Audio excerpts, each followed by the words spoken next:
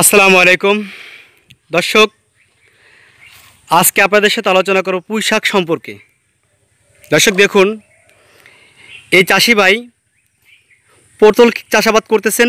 এই পটল ক্ষেতের সাথে সাথে কিছু অংশে পুঁই শাক চাষাবাদ করতেছেন দর্শক। দর্শক, অনেকে আমরা খেতে পুঁই শাক চাষাবাদ করি, অনেকে আমরা জাংলা পুঁই শাক চাষাবাদ করে থাকি।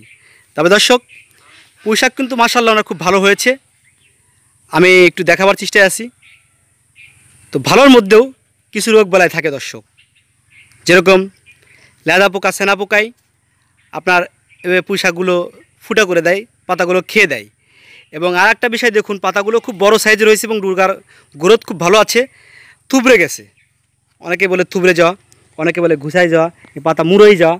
তো যেটাকে কী বলেন আমি জানি না দর্শক, দেখুন। তো এই টাইপের সমস্যা থাকলে এবং পাতাগুলো বুড়ো বুড়ো টাইপের হয়ে যায়। এরকম সমস্যা থাকলে দর্শক কৃষকেরা পুঁই শাক ক্রয় করতে চায় না।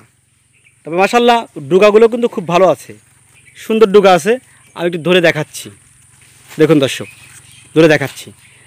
তবে এই পুঁই শাক চাষের কিছু বৈশিষ্ট্য আছে। এইটা যে চারটা উনি লাগিয়েছেন, এটা কিন্তু আসলে ক্ষেত পুঁই শাক আর একটা ছিল আপনার জাংলার পুঁই শাক তো উনি ক্ষেত পুঁই শাক জাংলায় উঠিয়ে দিয়েছেন বিদায় ডোকাগুলো অনেক মোটা মোটা। একটু বুঝাবার চেষ্টা করো দর্শক, দেখুন, ডোকাগুলো কিন্তু অনেক মোটা যে। মানে খুব মোটা। এই মোটা ডোকা পোশাক অনেকে পছন্দ করে, আবার অনেকেই চিকুন ডোকাটা পছন্দ করে থাকে। তো এই যে সমস্যাগুলো এবং গ্রোথ কমে যাওয়া, গাছগুলো বলে কম, দ্রুত বারবার কেটে কেটে বিক্রয় করবেন, সেটা হচ্ছে না। এই সমস্যা থেকে বের হইতে হলে, এই সমস্যা থেকে সমাধান পেতে হলে আপনাকে কি করণীয়, কি ঔষধ স্প্রে করণীয়? আমরা একটু সেটা বলে দেব দর্শক। দর্শক, এবং প্রতি সপ্তাহে আপনি পোশাক কেটে হাটে বিক্রয় করতে পারবেন, সেই বিষয়েও বলে দেবো। তাহলে দর্শক, সর্বপ্রথম যেটা আমরা বলব সেটা হলো, আপনার গাছে যাতে লেদা পোকে ফুটে না করতে পারে, এইভাবে খাইয়ে ফেলতে না পারে পাতা পাতাগুলো, দেখুন পাতাগুলো কী অবস্থা। এবং পাতায় সিট না পড়ে, পাশাপাশি পাতাগুলো থুবড়ে নিয়ে যায়, এটার জন্য আপনি কী করবেন? এটার জন্য আপনি স্প্রে করবেন লিভা ম্যানকোসিল। দর্শক, আমি আবারও একটু আপনাদেরকে বলতে চাচ্ছি ওষুধের নাম। আমরা স্ক্রিনে ছবি দিয়ে দেবো, লিভা ম্যানকোসিল। এবং এই সাথে দেবো আমরা, দর্শক, যে ওষুধটার নাম বলব এখন, সেটা হলো আপনার গাছ থেকে আপনি দ্রুত সকল ধরনের সবজি থেকে সবজি দ্রুত সংগ্রহ করতে পারবেন, দ্রুত লম্বা হবে এবং অতিরিক্ত ফলন বৃদ্ধি হবে। ওটার নাম হলো, দর্শক গ্রিন লিপ।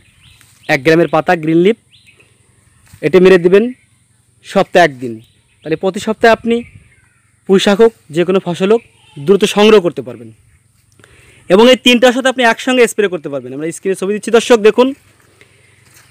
লিভা ম্যানকোসিল পাশাপাশি দর্শক, গ্রিন লিপ। এই তিনটা ওষুধ একসাথে স্প্রে করলে আপনার ক্ষেতের পাতা টান হবে। পাতা মুড়াবে না, পাতাগুলো ফুটা করবে না এবং গাছ থেকে দ্রুত যে কোনো ফসল সংগ্রহ করতে পারবেন। দর্শক, আরেকটা বিষয় আলোচনা করব।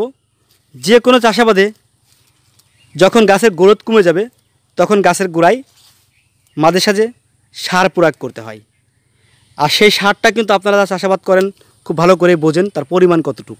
না বুঝলে আপনি আপনার যে এলাকা থেকে সার ক্রয় করবেন, সেই দোকানদারের কাছে জিজ্ঞেস করলে আপনাকে সারের পরিমাণটা তারা বলে দেবে এবং সেভাবে সার প্রয়োগ করবেন মাঝে সাঝে। দর্শক, আমরা আপনাদেরকে এভাবে প্রতিনিয়ত নতুন নতুন কৃষি সেক্টরের ভিডিও দিয়ে থাকি। যারা এখনও আমাদের চ্যানেলটা সাবস্ক্রাইব করে নাই, নোটিফিকেশনটা অন করে দেন নাই, আমাদের ভিডিওটা দেখতে দেখতে চ্যানেলটা সাবস্ক্রাইব করে দেবেন, নোটিফিকেশনটা অন করে দেবেন। আমি আশাবাদ যাতে আপনাদের এই সাবস্ক্রাইব দেখে এবং নোটিফিকেশনটা অন করা দেখে আমার মধ্যে অনুপ্রেরণা বেশি করে জাগে বেশি বেশি ভিডিও আপনাদেরকে আমি উপহার দিতে পারি। দর্শক, তাহলে আজকে ছিল এই পুঁই শাক চাষ সম্পর্কে আলোচনা। দেখুন মাসাল অনেক বড় বড় পাতা হয়েছে, তবে পাতায় বিভিন্ন টাইপের রোগ বালাও আছে। তো এই বিভিন্ন টাইপের রোগ বালা থেকে বাঁচার জন্যে আপনাকে, আমাকে কি করণীয় কিন্তু আমি আজকে ভিডিওতে সমাধান দিয়ে দিচ্ছি। দর্শক আপনারা যে যেখান থেকে ভিডিও দেখতেছেন, আপনাদের ফ্যামিলির সুস্থতা কামনা করে, আপনার সুস্থতা কামনা করে আজকের ভিডিও এখানে শেষ করতেছি। ভালো থাকবেন, সুস্থ থাকবেন। আল্লাহ হাফেজ। আসসালামু আলাইকুম।